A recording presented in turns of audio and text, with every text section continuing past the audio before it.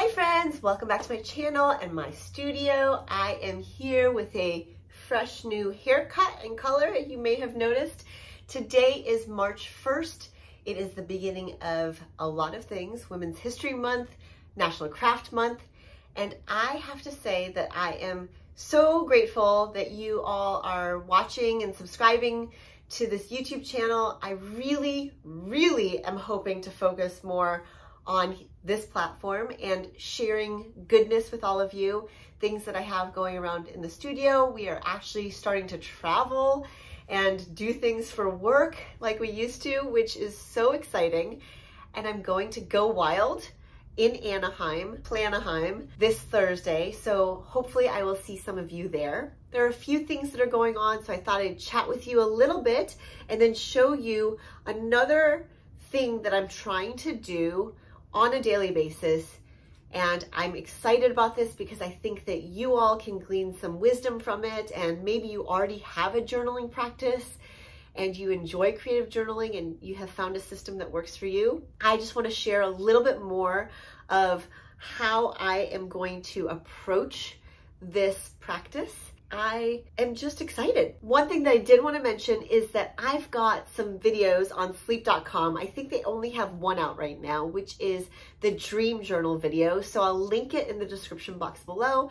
As always, hit subscribe and like this video. And also, if you have any questions or comments, always leave them. I read every single one for better or for worse. And thank goodness it's for better most of the time.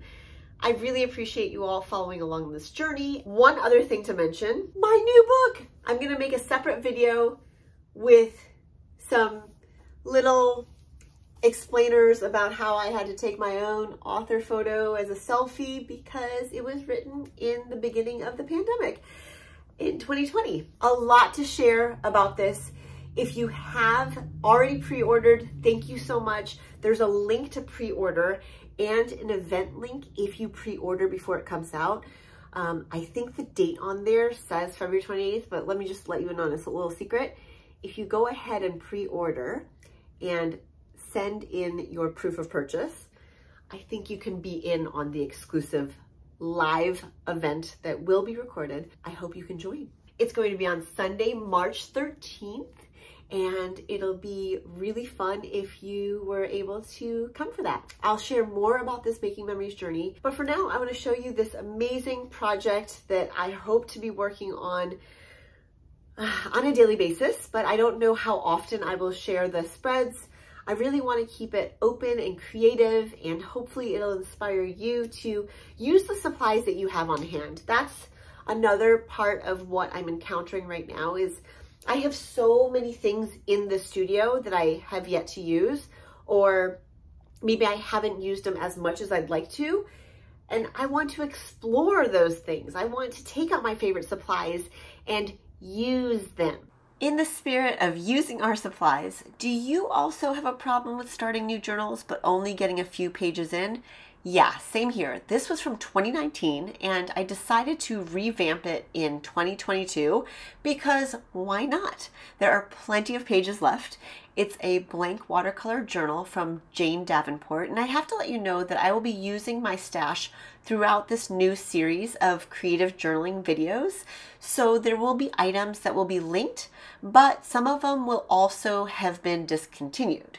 I want to apologize if that's upsetting, but honestly, I think the goal of hoarding, I mean, collecting amazing craft products and supplies is to not just hold on to them, but to use them. Use the heck out of them so that you can find joy in this journey, so you can use your favorite supplies alongside your favorite memories, alongside what you cherish. Also, while I feel a responsibility to share the latest and greatest with you, I also feel conflicted at times because I want to get back to using what I love, and sometimes it's things from years ago. I've invested a lot of money in supplies, and I'm sure you have too. Let this be encouragement for you to take out your supplies as well. Give yourself permission to play and explore and let your creative juices flow. As I lay down this foundation with Altenew watercolors, which are available and linked below, I'll play some music so you can enjoy the process of seeing how this came together and you don't have to listen to that dog barking anymore.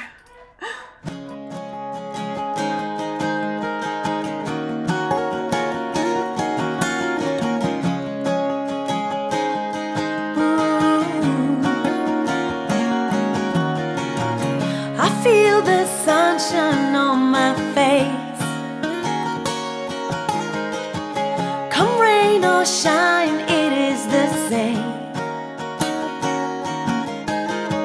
And I see the sunshine on you.